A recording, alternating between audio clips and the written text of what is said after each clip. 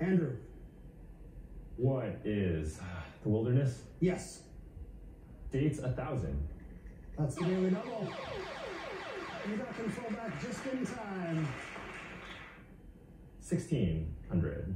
Everything again. Here's your clue in historic dates. In a historic first, this 75 year old was sworn in as president of his country May 10th, 1994. Who is Mandela? You are correct. You move into second place. Drink six.